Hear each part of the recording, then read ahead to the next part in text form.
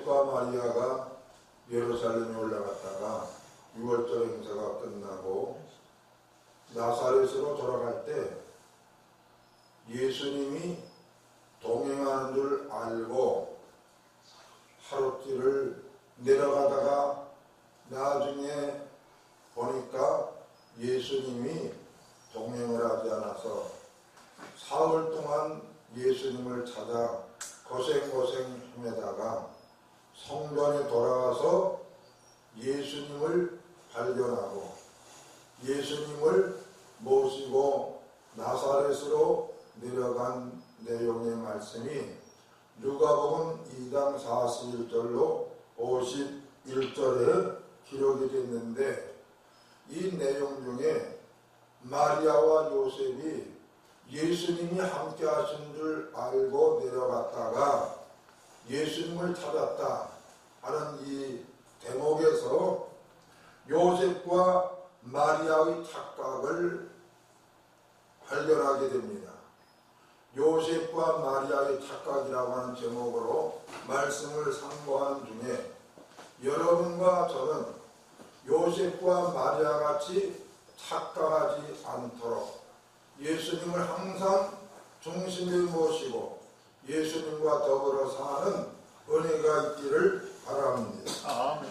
고린도후서 13장 5절에 보면 바울이 고린도 교회 성도들을 향하여 권면하신 말씀이 있습니다.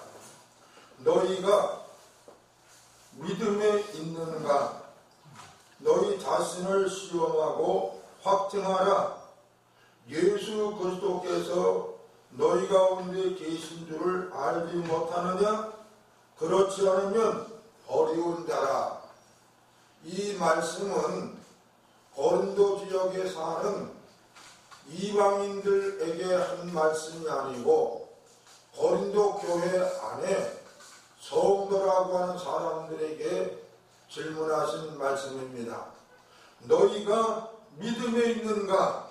너희 자신을 확 시험하고 확증하라.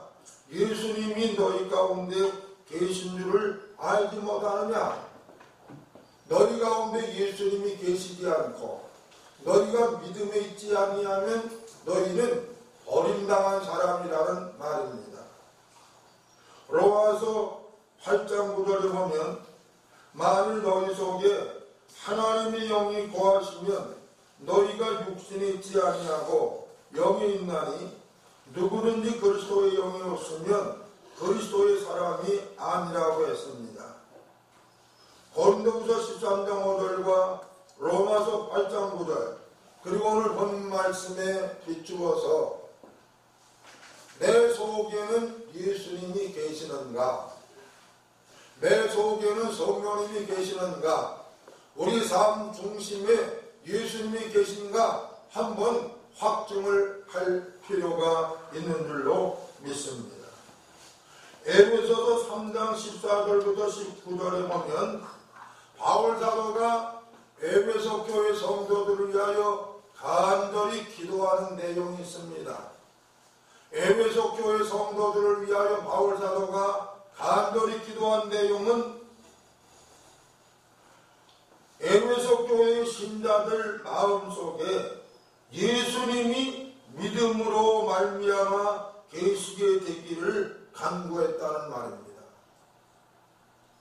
오늘 여러분과 저 마음속에 마리아와 요셉과 같이 착각을 한다면 이런 말이 있습니다. 착각은 자유지만 결과는 피할 수 없다. 마태복음 23장 27절에 보면 예수님이 목선에 올라타셨어요. 성선하셨습니다. 예수님이 건너편으로 가시려고 이제 드디어 어, 목선에 성선하셨는데 그때 제자들도 같이 올라갔습니다. 바다에 큰 놀이 일어나며 물결이 배에 덮이고 죽을 지경이 되었습니다. 그 배 안에는 누가 계셨죠? 예수님이 계셨습니다. 그런데 왜 물결이 일어나고 바람이 불고 파도가 일어나서 배가 뒤집힐 정도가 되었을까? 그 와중에 예수님은 고물을 베고 잠을 잤습니다. 여러분 예수님이 계신 그 배, 예수님이 항해하시는데 왜 그 어려움이 생겼겠습니까? 우리는 여기에서 한번 생각해 볼 필요가 있어요. 이렇게 바닷물이 요동하면서 제자들이 죽음의 위협을 느낄 때에 주여 일어나소서 우리가 물결 인하여 죽게 되었습니다. 주무시는 예수님을 깨웠습니다. 주무시는 예수님이 깨어 일어나서 잠잠하라 고요하라 말씀하시니까 바람이 거치고 그 요동하던 바닷물이 잔잔해졌습니다. 이 사건에서 우리는 깊이 한번 살펴볼 필요가 있어요. 내 마음속에 예수님이 와 계시지만 예수님을 잠들게 내버려 두고 내가 노를 젓고 내가 방향 설정을 하고 내가 노력하다 보면 우리들도 풍랑을 만날 수밖에 없다는 말입니다. 그러나 내 심중에 잠자는 예수님을 깨워서 예수님이 말씀하시고 역사하시도록 하면 우리가 당면한 문제가 해결이 될 줄로 믿습니다. 아니 예수님을 모셨으면 예수님을 따라 성선했으면 예수님이 그 배를 조종인하도록 예수님을 앞세우고 예수님 뒤를 따랐더라면 풍랑도 물결도 죽음의 위협도 당하지 않았으리라고 봅니다. 다시 말씀드립니다만 제자들은 선생님 바다에서는 우리가 선수입니다. 예수님은 주무세요. 주권 행사를 했을 겁니다. 바다의 풍랑과 배에 부딪혀 파손케 하는 물결은 예수님이 일어나서 역사하실 때 됐다 이 말이에요. 이 말씀에서 결론된 것은 예수님께 주권을 맡길 때에 안전한 항해가 될 수 있고 예수님께 주권을 맡기고 예수님의 인도를 따를 때에 우리들의 가는 길이 평탄하게 될 줄로 믿습니다. 요한계시록 3장 14절로부터 21절에 보면 라오디게아 교회에 대해서 기록이 됐는데 이 말씀 너무나도 잘 아는 말씀이에요. 라오디게아 교회는 뜨뜻 미지근했습니다. 주님으로부터 내 침을 당할 수밖에 없는 지경이 됐어요. 라오디게아 교회 성도들은 나는 부자다. 나는 부족한 것이 없다. 자부심이 대단했습니다. 그런데 예수님은 그들을 진단하신 결과 너희가 사실은 가난한 사람들이다. 너희들은 편하다 편하다 하지만 너희들은 곤고하다. 너희들은 가난한 신세다. 너희들은 가난하고 눈 멀고 벌거벗은 상태를 알지 못하느냐? 예수님이 그들에게 질책을 합니다. 오늘 한국교회가 어떤 상황이냐?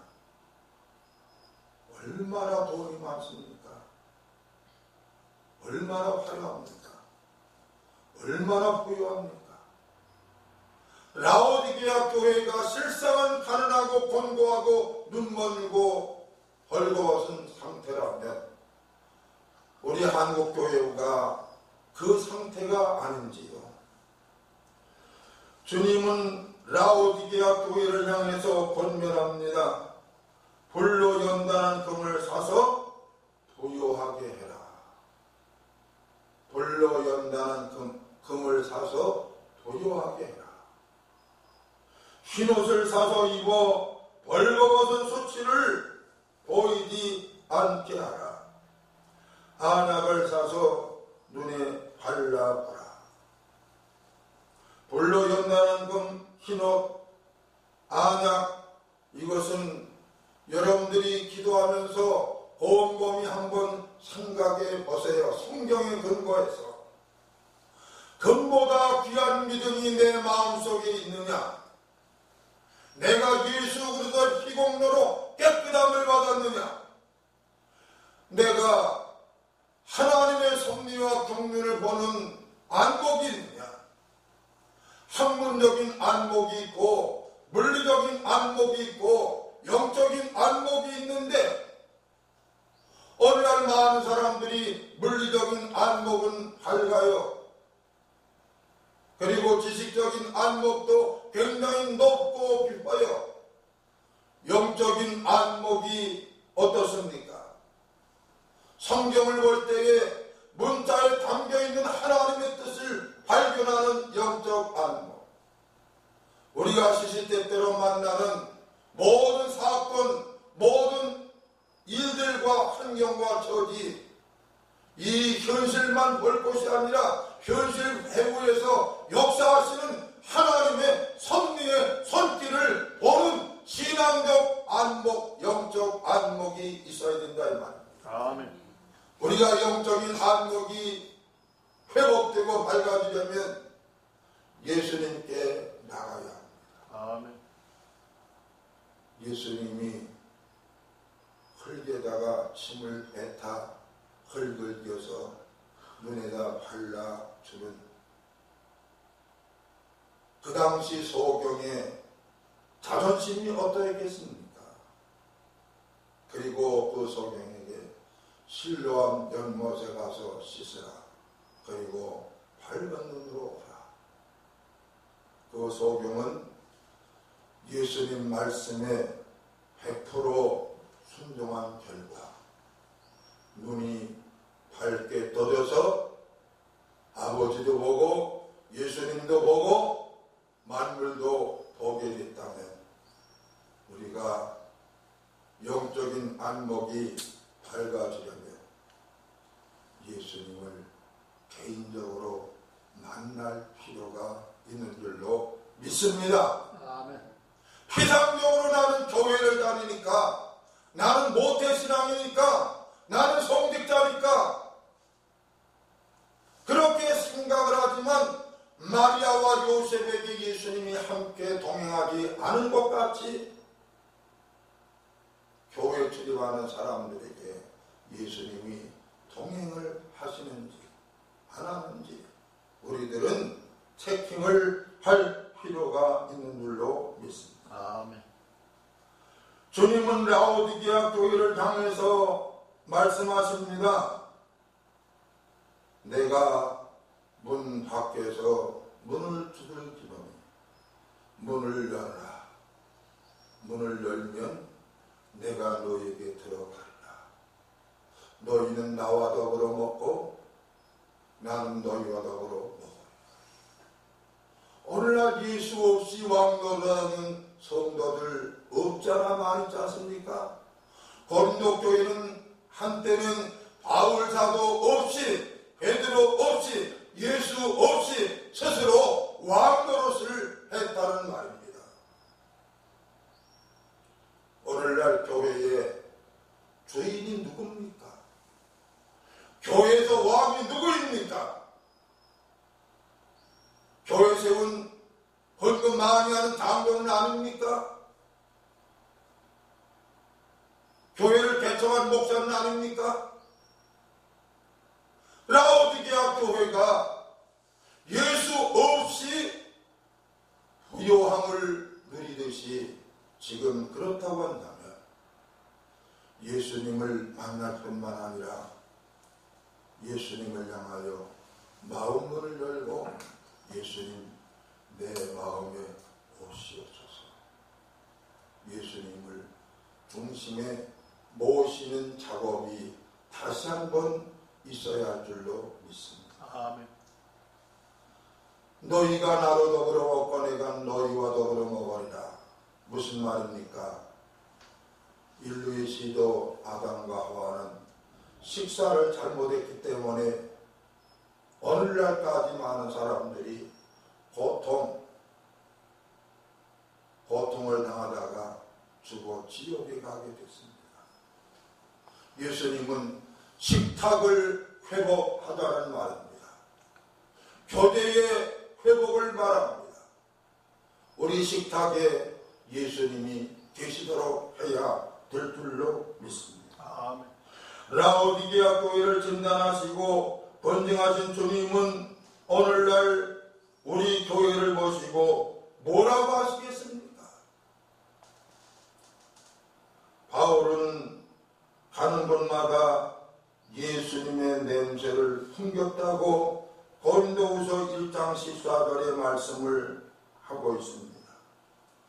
바울은 오뚜기같이 쓰러지지만 일어나 사명을 감당했다고 고린도후서 4장 8절로 구절했습니다. 예수님의 냄새를 풍기는 바울 넘어뜨림을 당하나 망하지 않고 다시 일어날 수 있는 바울 그 바울 속에는요 보배가 있었기 때문에 질그릇 같은 바울 사도 속에 보배가 담겨있기 때문에 바울 사도는 냄새를 풍겼고 넘어뜨림을 당하나 망하지 않고 일어났다는 말입니다. 또한 바울 사도는 고린도전서 1장 29절에 나도 내 속에서 능력으로 역사하시는 이의 역사를 따라 힘을 다하여 수고하였다 하였습니다. 바울 사도 속에서 역사하시는 분의 능력을 따라서 움직일 때에 바울에게서는 예수 냄새가 풍겼어요. 내 속에서 뭐가 역사합니까? 내 욕심입니까? 내 사리사욕입니까? 그러니까 성령으로 시작했다가 육체로 마치는 경우가 많잖아요. 성령으로 시작한 여러분과 저는 우리 주님이 날 오라 부르시는 그 순간까지 내 속에서 역사하시는 성령의 능력을 따라 일할 때에 예수 냄새 풍깁니다. 넘어질지라도 다시 일어나게 될 줄로 믿습니다. 인간의 냄새, 돈 냄새, 학문의 냄새, 죄악의 냄새 얼마나 많이 풍깁니까? 성령으로 육체로 마치는 경우가 얼마나 많이 있습니까? 다시 한번 여러분과 저는 체킹을 해야 되겠어요. 바울 속에서 역사하시는 그분 뭡니까? 하나님의 영 질그릇 같은 바울 속에 보배로운 예수 좀 더 구체적으로 보배에 대해서 말씀을 드린다면 베드로전서 1장 19절에 예수의 피는 보배로운 피라고 그랬어요. 베드로전서 2장 3절 6절에 보면 산돌이신 예수. 베드로후서 1장 4절 하나님의 약속. 여러분 마음속에 내 마음속에 예수님의 피가 있다면 하나님의 영이 있다면 산돌이신 예수님이 있다고 한다면 예수 냄새 풍기려고 애를 쓰지 않아도 예수 냄새를 풍기게 된다 이 말입니다.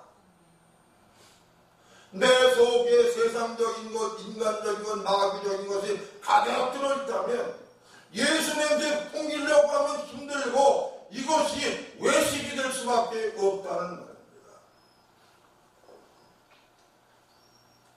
우리는 참으로 복잡한 시대에 살고 있습니다. 더욱이 모든 면이 복잡합니다. 얼마 전에 신동이 되났죠. 이대한 일주일 있으면 소리 옵니다. 이때에 예수님을 잃어버리고 나홀로 덤벙덤벙 쏟아지는 일이 있지 않도록 예수님을 따라 성선했지만 예수님을 주무시게 내버려 두고 내가 너를 젖고 있는지는 내 속에 하나님의 영 그리스도가 계셔서 역사하시는지 우리 마음속에 예수님을 모셨다면 모든 주권을 예수님께 맡깁시다. 예수님 내 속에서 역사하시게 하면 틀림없이 예수 냄새 풍기는 인생이 될 것이고 아멘. 예수 향기 날리고 쓰러뜨림을 당해도 어떠기가 지르나 하나님의 살아계심을 보여줄 줄로 믿습니다. 아멘.